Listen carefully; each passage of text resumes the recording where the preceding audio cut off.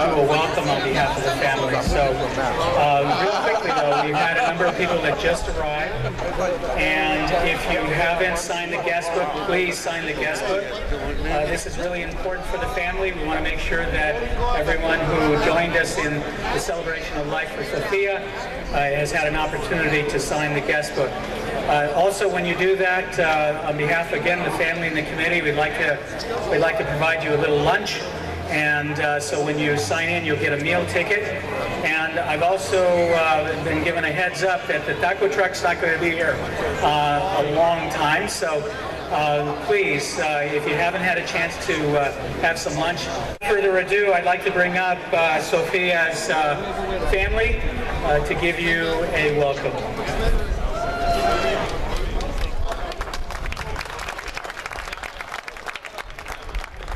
Okay, hello, my name is Linda Namides. I'm the eldest daughter. Most of you may uh, be aware of my mother's ability to speak in public. Although I'm her daughter, I didn't inherit that ability. I would like to thank you all for accompanying my family in celebrating, recognizing my mother's life accomplishments. I would also like to thank the awesome organizing committee who put all their efforts and time to make this event happen. I'm anxious to hear all the stories you have to share about my mother. Thank you. Like to thank everybody for being here. Uh, as Sophie always taught us, it takes a team to make things happen. And I think a lot of you are here because of the path that we crossed with Sophie. And our hope and dream is that we carry on the torch that uh, Sophie lit up the way for us to follow. And so again, just I want to thank everybody for being here as part of that team. Thank you.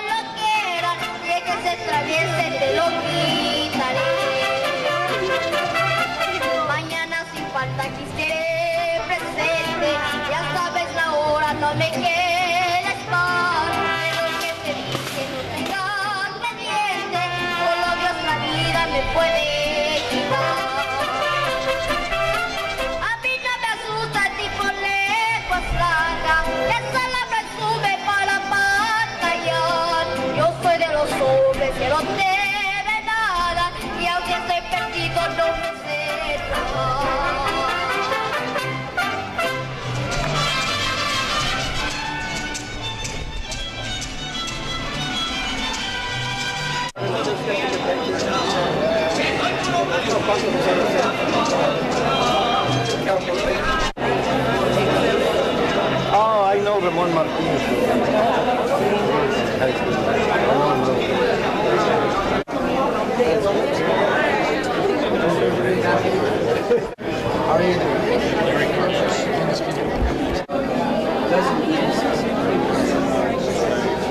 Ramirez or anybody over there? Oh, I know you very well. Yeah.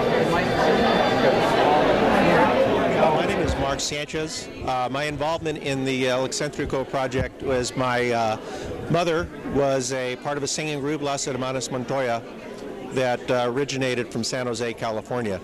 They originally started as a uh, group of four sisters, um, Mercedes, Ophelia, Esther, and Emilia. My mother was Emilia, um, who later became Emilia Sanchez, my mother. Uh, the group started with the advent of radio, opening local radio stations, playing local nightclubs here in the San Jose area.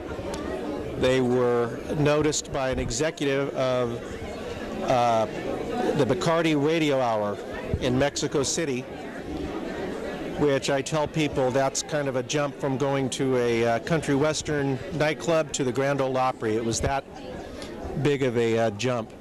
You see the Bacardi Radio Hour there. Um, the four of them went to Mexico City. They enjoyed some pretty steady work down there. Um, when my Aunt Mercedes married, left the group, and then Perez Prado, also known as the Mambo King, discovered them in Mexico City and took them on a world tour. Um, they did a large South American tour with, uh, that's Billy Eckstine in the one picture there. Billy Eckstine, Nat King Cole, Josephine Baker. Uh, they did a uh, large European tour, large Japan tour, released several records, won a gold record right here. That was a million selling record for them. And anyway, we're real happy to be at this event here. Um, I never knew my mom other than just being a mom. Hi, my name is Monte Carlos, and I'm uh, standing in front of a, uh, not a portrait, but um, it's actually an obituary of my father, Jess Carlos, who died in uh, October 2001. And it just, uh, the obituary uh, obviously talks about his, his life, his accomplishments, his family, and it's uh, just something we're proud of that um, we had the opportunity to uh, see all of his work uh, and accomplishments uh, mentioned here. And we're just very proud of the fact that we're now part of this uh, exhibit, photography exhibit, to be able to partake in showing some of the uh, the people and uh, Jess Carlos, um, who was born in 1922 in Jerez, Zacatecas, um, moved to the United States as a baby and uh, grew up and went into the Marine Corps and served in World War II. From there, he came out and uh, bought the La Mexicana market in uh, San Jose and then went into uh, radio and became a uh, promoter of music, bringing musicians from Mexico in the 1950s, and then became uh, got into radio and worked at KOFY for um, over 30 years. First as an announcer, then as general manager, and finally as co-owner of the radio station. And he also, for 50 years, uh, was owner of International Latin American Enterprises in Oakland, where he worked uh, with in serving uh, the immigrant community, uh, working on immigration as well as notary public and income taxes and bookkeeping. And um, that's all I can say. This is a portrait of my mother, Mercedes Carlos, and uh, this picture was taken in her early 20s. She was um, born in Encarnacion, Jalisco, in 1926. Uh, moved to the United States as a young child uh, with her parents. She's the oldest of 10 children, and they um, lived uh, throughout, um, lived in Texas and in California, moved to San Jose in the mid 40s, and with her three of her other sisters, formed Las Hermanas Montoya. She left the group in 1950 to marry Jess Carlos and was married to my father until his death in 2000.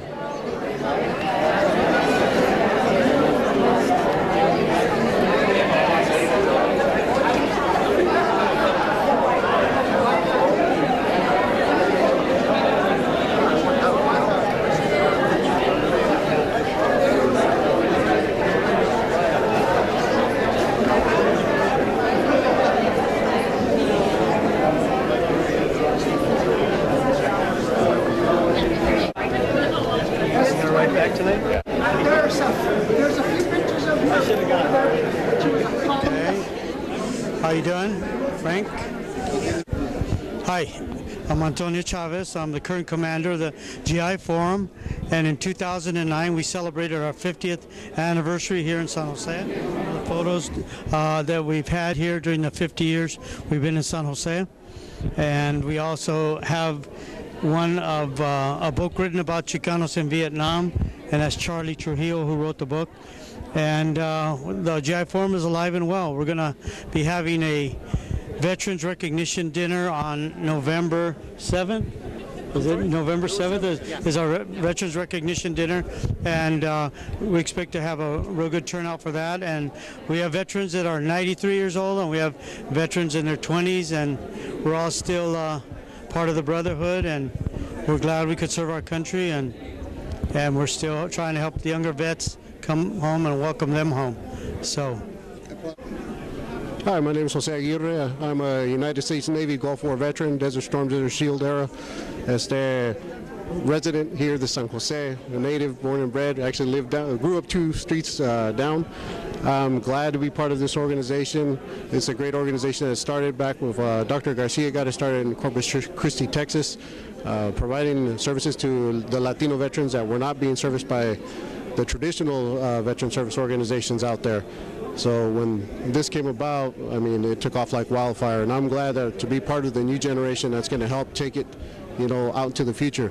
Reaching out to the vets from, you know, Iraq, Afghanistan, all the guys that are coming home now, you know, we're here for you guys. We love you guys. Uh, we're still, we're all brothers. Good afternoon. I'm Bert Garcia.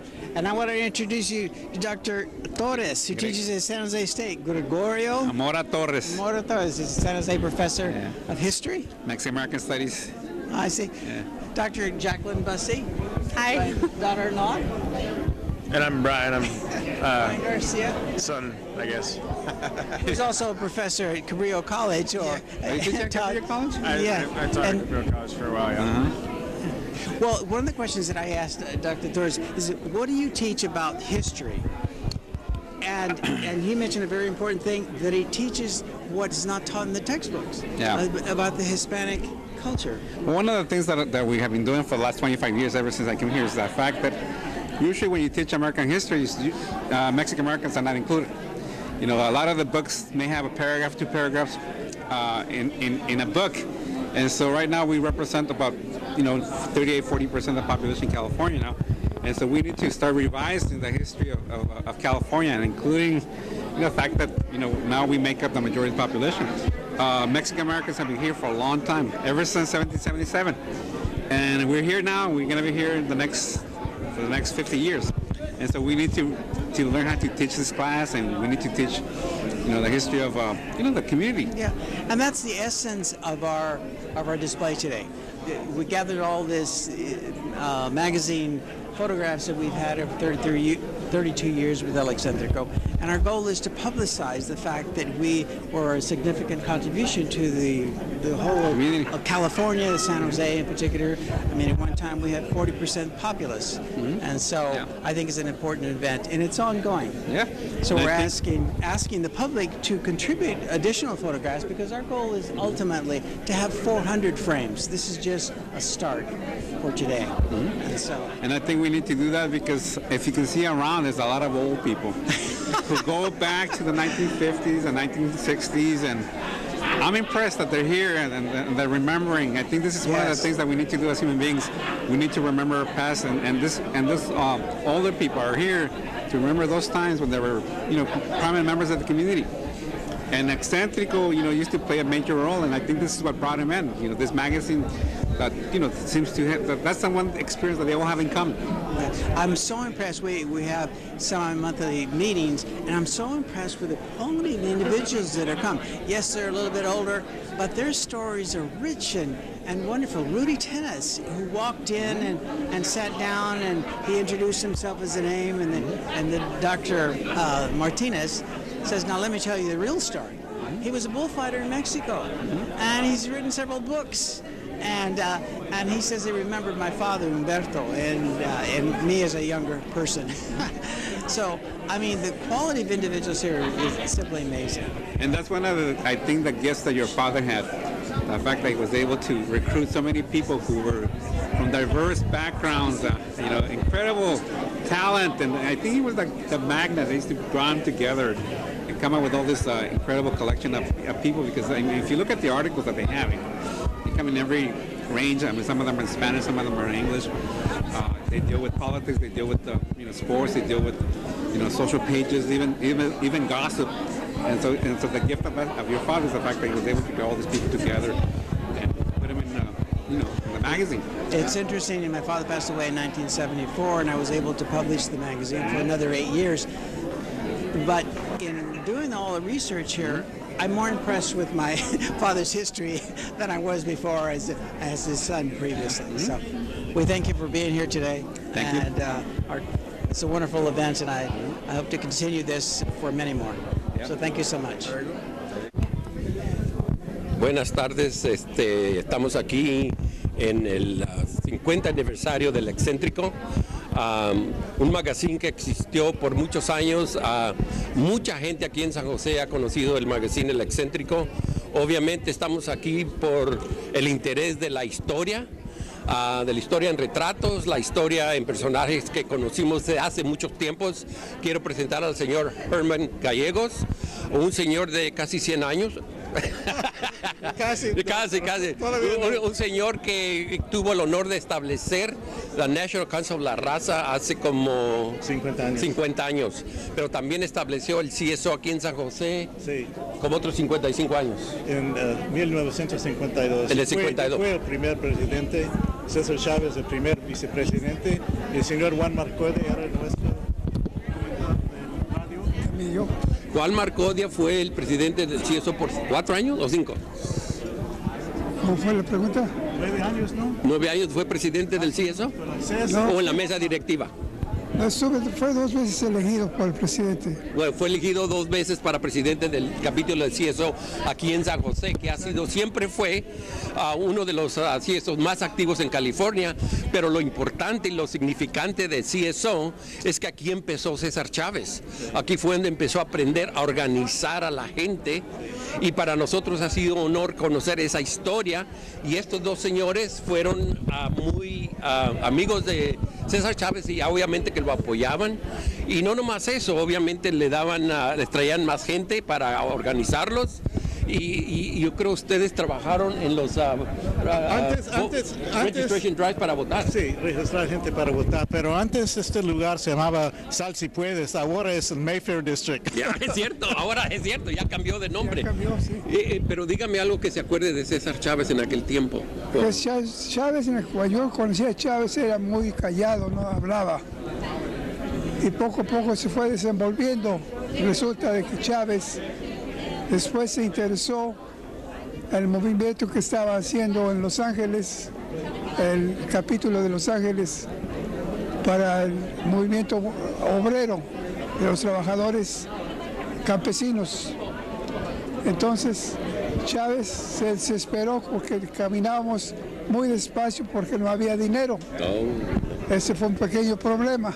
Ya, Entonces, él se arriesgó a dejar así eso a un lado y él a ver qué podía hacer solo. Pe- Pero mire, no, créame que no se re- se re- retiró de, del CSO. fue a Oxnard y fue a organizar ahí a los trabajadores latinos de aquí de, San de, de- de aquí de California, California, y, y peleaba con los estos a, a los, agri- agricultores. los agricultores porque los agricultores querían trabajar nomás a los ah, braceros. a los braceros. Y ahí estaba el conflicto que él tenía que estar tratando de resolver para dar trabajo a, a nuestra gente. Así Muy de bien, que no se retiró, empezó a agarrar a, a trabajar más arduamente. Sí.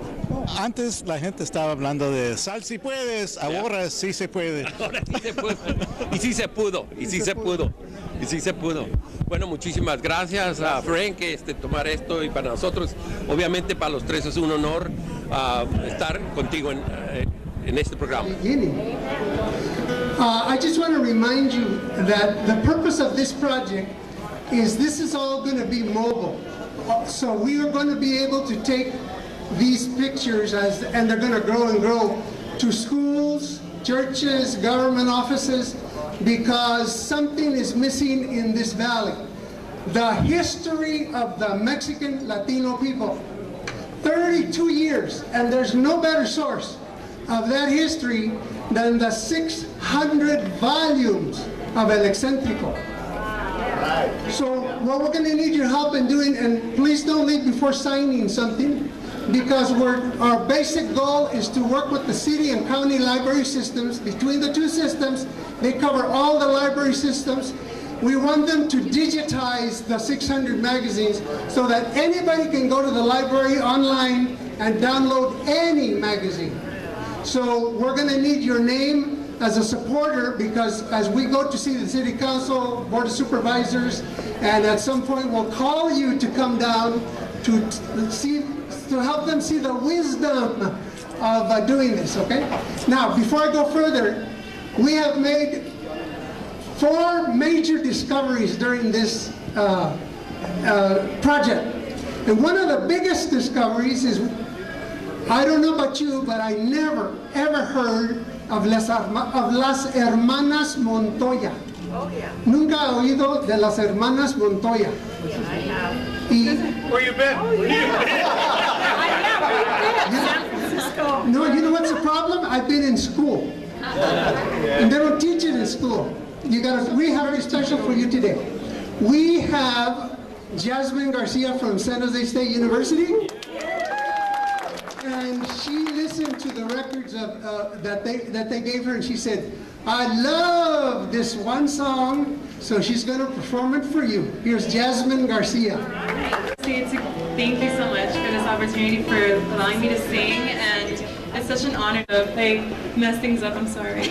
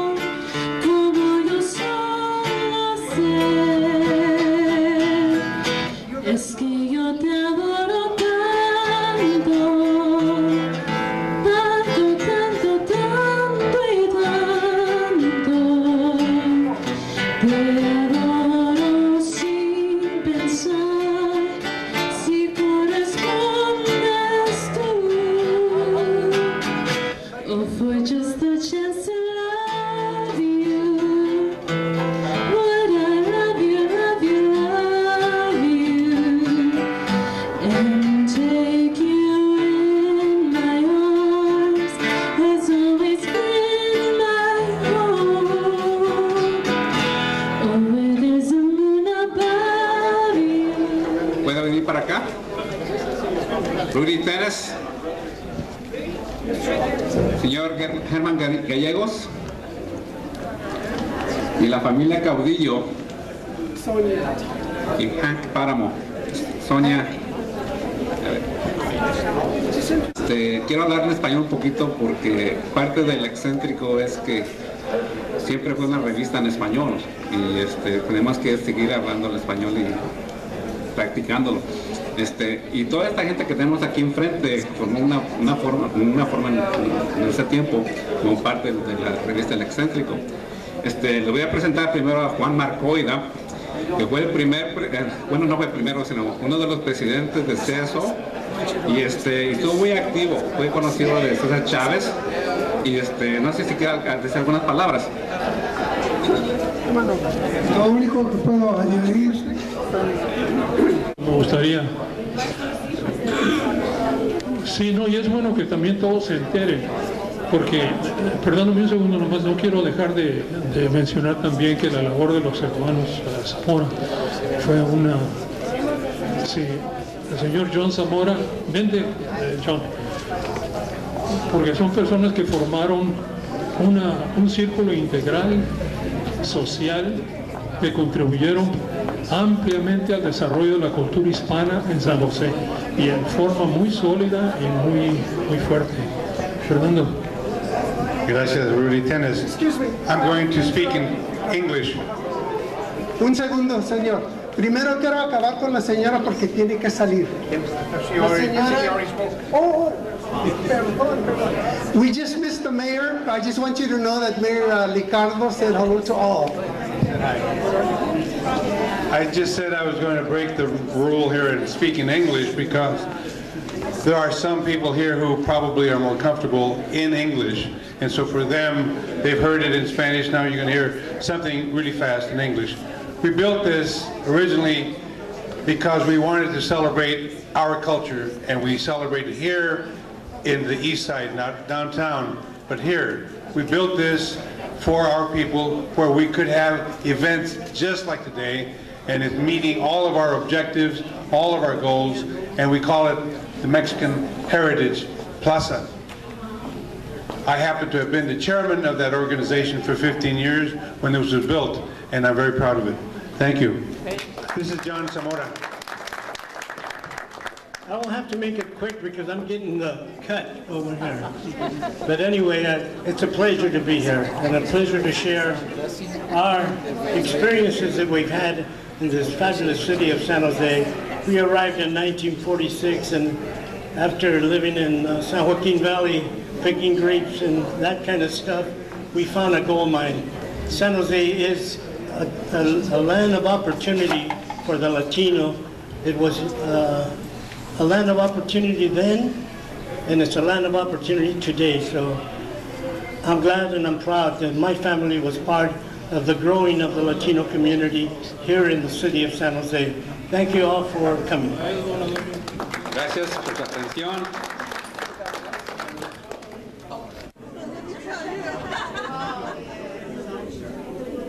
Hi, my name is Gigi Bellamini.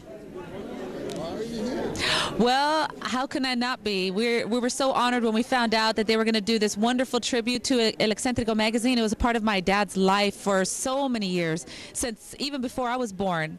And he was always so proud to work for the magazine. He sold ads, he took photos, just Mr. Socialite, just at every event. And again, he was just so proud. I mean, like I said, it's been a part of my life, all my life. So my dad was working with it and talking about it. And so when my father passed away in January this year, um, I put it on Facebook, and I wanted all of his old friends to to know what happened. Of course, I was we were all devastated, and Ramon, Mr. Ramon Martinez, happened to comment, a really nice comment saying, man, Rudy was a, a, a, huge part of the history of San Jose. He was a huge part of El Excentrico magazine. And then after that, he contacted me letting us know about this project and if, if we had any information we could offer. So we were just very proud that they even included my dad. And just, just to be here was very overwhelming for all of us, for my mom and my sister as well. So we're very proud to be part of this and we're very grateful that they that El Excentrico magazine was such a huge part of San Jose, and we hope that we everyone can keep its memory alive forever. Hi, my name is Marcy Mora. I am uh, was a writer in a Excentrico uh, for many years, and here, right here, is I'm in the Excentrico workshop where we used to, where they used to print up all the Excentricos,